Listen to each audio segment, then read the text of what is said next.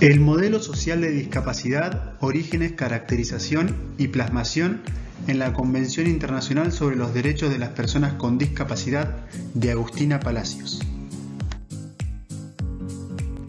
Cuando hablamos del concepto de discapacidad, podemos decir que este es relativo y varía según los diferentes contextos históricos y sociales. Podemos decir que la discapacidad depende en cierta medida del ojo del observador. En su trabajo, Agustina Palacios reconoce tres modelos de tratamiento que a lo largo del tiempo se ha dispensado a las personas con discapacidad, situándose en los diferentes contextos históricos. En primer lugar, encontramos el modelo de prescindencia, luego el modelo rehabilitador y por último el modelo social.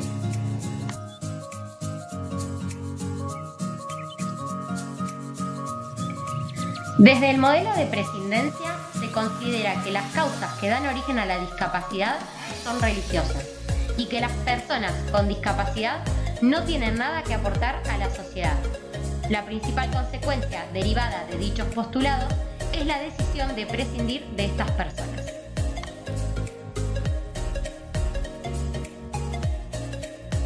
Existen diferencias respecto de la forma de prescindencia y sus consecuencias derivadas. Por esta razón, existe la distinción de dos especies de submodelos. El primero, denominado eugenésico, y el segundo, de marginación.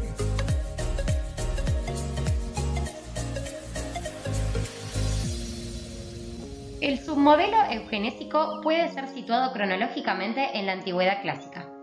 La solución elegida frente a la condición de innecesariedad e incluso de carga que se atribuye a las personas con discapacidad se percibe a través de la aplicación de políticas eugenésicas. Bajo este paradigma pueden ser identificadas las siguientes características. La vida de una persona con discapacidad no tiene ningún sentido y es asimismo considerada una carga social. Es por ello que los niños con diversidades funcionales congénitas son sometidos a infanticidio. Para el caso de adquirirse o detectarse la diversidad funcional con posterioridad, las personas con discapacidad deben apelar a ciertas prácticas como medio de subsistencia, entre las que se destaca el ser objeto de burla o diversión. En cuanto a las respuestas sociales, las creencias respecto del origen de la diversidad funcional conllevan a que las personas con discapacidad sean temidas y o perseguidas. Por otra parte, el submodelo de marginación puede ser situado en la Edad Media, la solución elegida frente a la condición de innecesariedad que se atribuye a las personas con discapacidad encuentra su respuesta mediante su exclusión. Bajo este paradigma pueden ser identificadas las siguientes características. La vida de una persona con discapacidad tiene un único sentido, que es ocupar el sitio de los marginados y las clases pobres. Respecto del tratamiento brindado a los niños y niñas, gran parte de los afectados mueren como consecuencia de la carencia de interés en salvar sus vidas o por la invocación de la fe como medio de salvación. En lo que atañe a los métodos de subsistencia, la apelación a la caridad, el ejercicio de la mendicidad y ser objeto de diversión suelen ser las prácticas obligadas.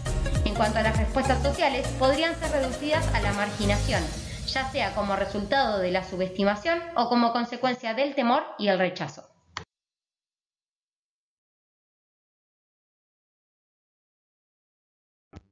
El segundo modelo identificado es el denominado rehabilitador. Sus primeros síntomas emergen en los inicios del mundo moderno, aunque su consolidación puede ser situada cronológicamente a fines de la Primera Guerra Mundial. Este paradigma asume dos presupuestos esenciales.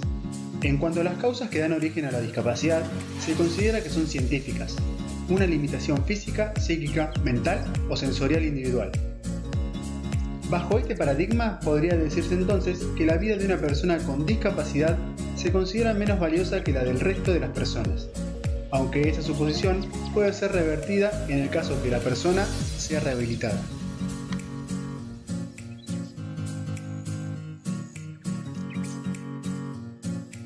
Como resultado de la utilización de avances y tratamientos médicos, gran parte de los niños y niñas tienen una mayor probabilidad de supervivencia y la educación especial se convierte en una herramienta ineludible encaminada a la normalización de las personas.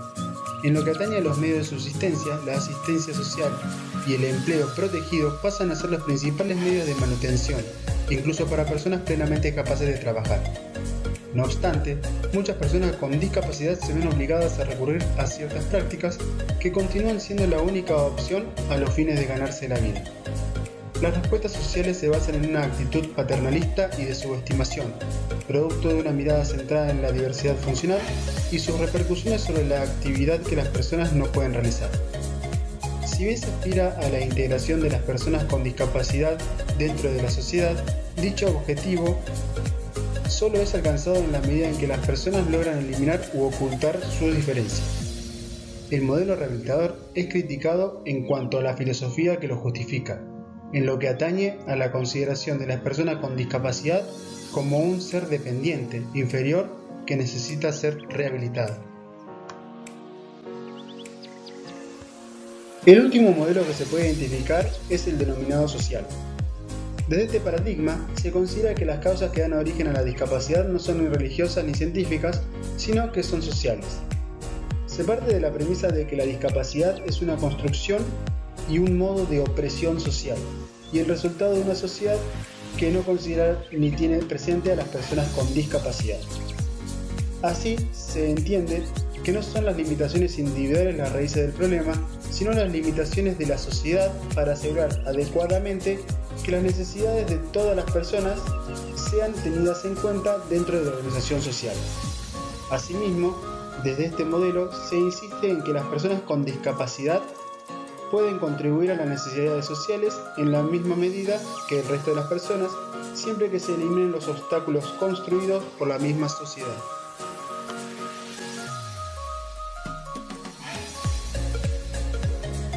paradigma pueden ser identificadas las siguientes características. Las niñas y niños con discapacidad deben tener las mismas oportunidades de desarrollo que los niños sin discapacidad y la educación debe tender a ser inclusiva. En cuanto a los medios de subsistencia, el modelo bajo análisis plantea como métodos idóneos a la seguridad social y el trabajo ordinario, y solo de manera excepcional y transitoria se acepta el empleo protegido. Por último, en lo relativo a las respuestas sociales, basan en la búsqueda de la inclusión a través de la igualdad de oportunidades y se resalta la necesidad de que las personas con discapacidad sean aceptadas tal cual son, sin tener que recurrir artilugios tendentes a ocultar la supuesta diferencia que las aleja de los parámetros de normalidad.